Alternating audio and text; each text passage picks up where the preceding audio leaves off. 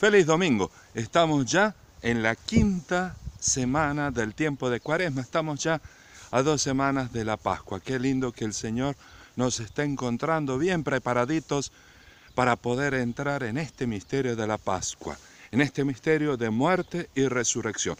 Toma nota entonces de las palabras que el Señor nos está dirigiendo en la liturgia de este domingo.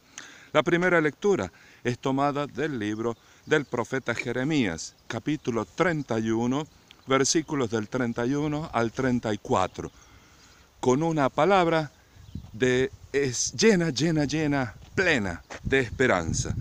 Dice, se acerca el tiempo, dice el Señor, en que haré de la casa de Israel, de la casa de Judá, una alianza nueva. No será como la que hice con los padres de ustedes, refiriéndose a los patriarcas, cuando los tomé de la mano para sacarlos de Egipto. Ellos rompieron mi alianza y yo tuve que hacer un escarmiento con ellos. Esta será la alianza nueva que voy a hacer en la casa de Israel. ¿Por qué? Porque el pueblo de Israel, no obstante a que había sido sacado de la esclavitud eh, en que había vivido por 400 años en Egipto, murmuró contra Dios, murmuró contra Moisés. ¿Qué? ¿Acaso nos ha sacado de Egipto para hacernos morir en este desierto? Porque el pueblo no aceptaba ser orientado, no aceptaba ser guiado por Dios. ¿Y de qué manera? Se paraba la nube, entonces ellos tenían que detenerse. Se movía la nube, tenían que moverse. Salía el agua, se eh, eh, enriquecían con el agua, saciaban la sed con el agua, comían no cuando querían, sino cuando Dios proveía la carne. Entonces, este pueblo que se revela porque quiere darse la vida a sí mismo, eh, se transforma eh, de esclavo al proceso de la libertad a un pueblo murmurador. Ya, estamos, ya te das cuenta que está hablando de vos y yo. La historia del pueblo de Israel es tu historia y mi historia, porque somos estos murmuradores. Murmurador porque hace frío, porque ha llegado la primavera y ha nevado ayer y hoy ya está cayendo algunos copitos de nieve, porque si no hubiera sido con el frío, porque hace calor, porque estoy viejo, porque me salen las canas, porque pasan los años y todo el cuerpo que estaba todo levantadito, derechito, empieza a caerse, porque no nos aceptamos a nosotros mismos, porque no aceptamos la historia y le echamos la culpa a Dios. Decimos, pero vos eh, eh, no me habías prometido la felicidad. Claro que eh, Dios nos ha prometido la felicidad, pero no la felicidad como nosotros la esperamos. Vamos al Salmo, el Salmo 50, porque dice, crea en mí, Señor, un corazón puro. ¿Qué es esto? Señor, haz de mí un nuevo instrumento, porque soy un instrumento que eh, te pongo condiciones. Es como la tijera, si la tijera le dijera al sastre o al costurero, la costurera, bueno, eh, si hace mucho calor no voy a cortar nada. Si la tela es muy gruesa, eh, mejor elegí otra tijera. No me quiero desafilar. Estoy muy delgada, me puedo romper. El instrumento, el instrumento, sabe Dios qué puede hacer y cuánto puede hacer.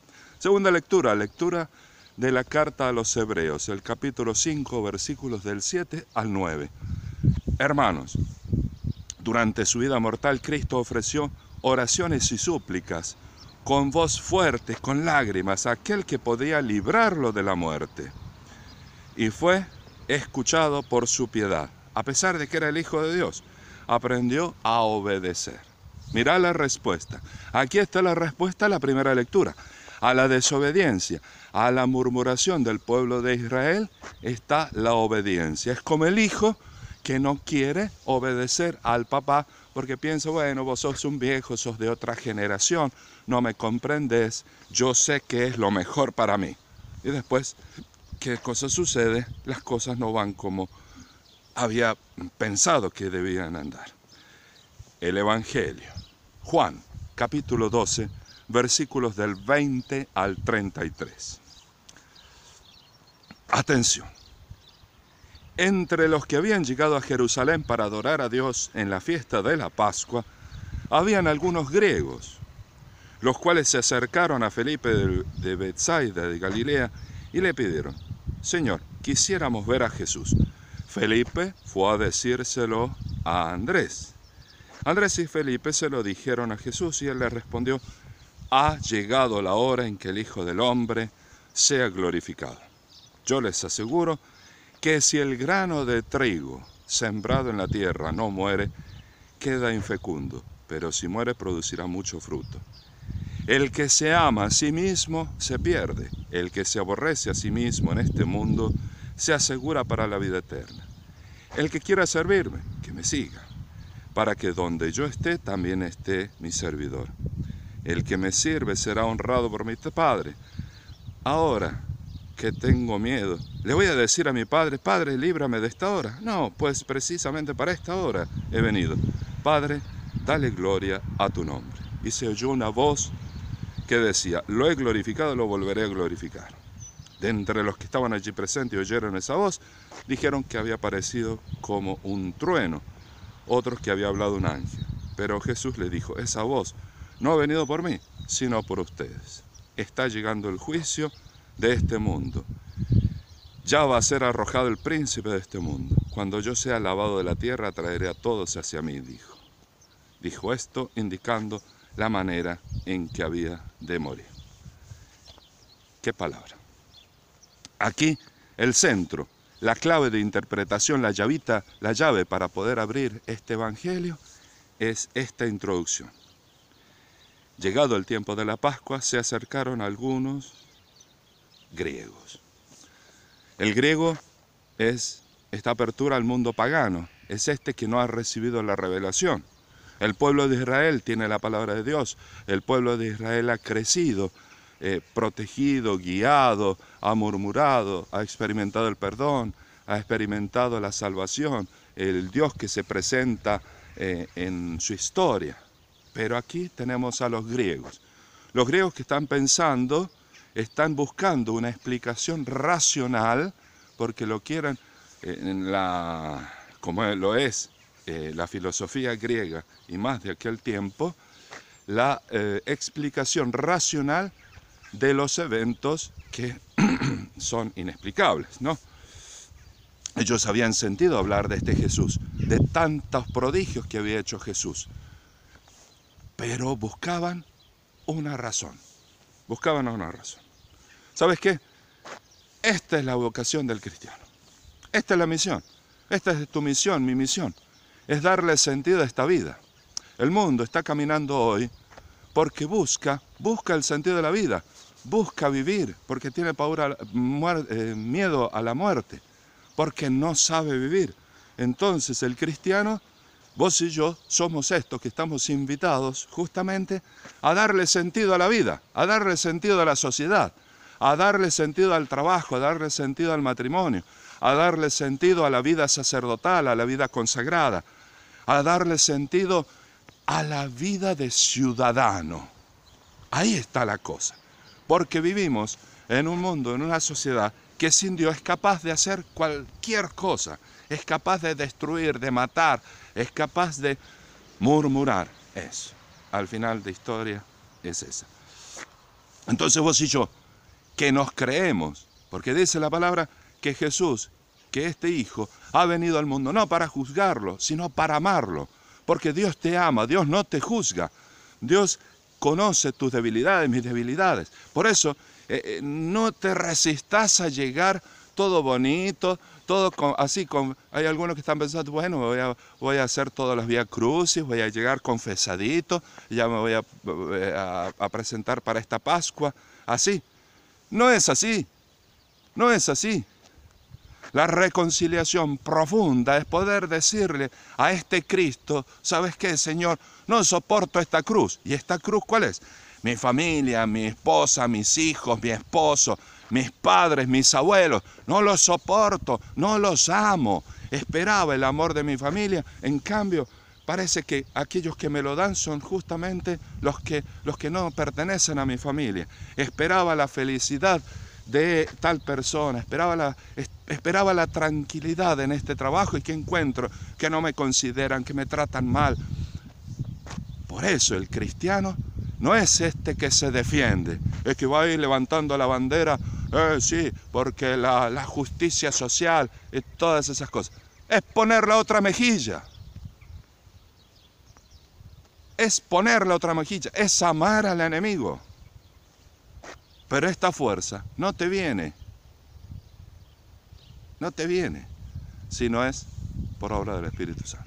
Por eso es lindo prepararse para esta Pascua y decir, Señor, esta es mi cruz, amo esta cruz, quiero amarla cada vez más, haz que esta cruz sea gloriosa. Por eso estos paganos no, no pueden encontrarle sentido a la vida, no pueden encontrar. Por eso es que en la pareja, cuando no va la cosa, se separan, se divorcian. ¿Por qué? Porque es la incapacidad de amar. En el trabajo se murmura, se habla del otro, en el barrio, en la ciudad, en la comunidad, peor, en la comunidad parroquial. Por eso es importante que el Cristo entre en esta palabra. Dice, si el grano, si el grano de trigo no cae en tierra, no muere, no puede dar fruto. Este grano es el Cristo que viene, se entierra en tu corazón, en mi corazón, se diluye, se destruye para darte vida, para que vos podás ser feliz, para que no esperes, justamente como tantos están desesperados por vacunarse, por escapar, para que alguien les diga, ¿sabes qué? No vas a morir. Y eso es una mentira, es un engaño del demonio, es un engaño del mundo, porque vos y yo estamos llamados a la vida eterna. Por eso es que murmuramos, por eso es que nos resistimos a vivir y resistiéndonos a vivir, no nos preparamos para morir y nacer a la vida eterna. Por eso, nuestra vocación es amar. Dios nos ha creado para amar. Y el demonio está constantemente engañándonos. ¿Sabes para qué? Para que no amemos. Para que levantemos la bandera de la justicia, de este justiciero que vos y yo tenemos dentro. Porque es injusto que vivamos así. Porque es injusto que vos siendo bueno, que vos ayudando, te den en la cabeza. Bueno, justamente, porque nuestra misión es la de darle la verdadera justicia al mundo, es ser sal para la tierra, ahí donde está desabrida, es ser luz para esos que están en la oscuridad, esos beatos de tu familia, de tus amigos que se creen los santos. Y sabemos justamente que la falta de Dios les hace engañar y creerse así de buenitos. Por eso, cuando un papá, cuando una mamá idolatra, idolatra, cree que sus hijos son los mejores, cree, ah, les permite de todo, les permite hacer las estupideces más grandes, les justifica incluso los pecados. ¿Por qué? Piensa que así los ama. En verdad, no, en verdad no los está amando. El que ama lo ayuda a corregir, lo ayuda a salir de esa, de esa experiencia del pecado. Que el Señor continúe guiando nuestros corazones hacia la Pascua hacia la Pascua. Hasta el cielo no paramos. Feliz domingo. La paz.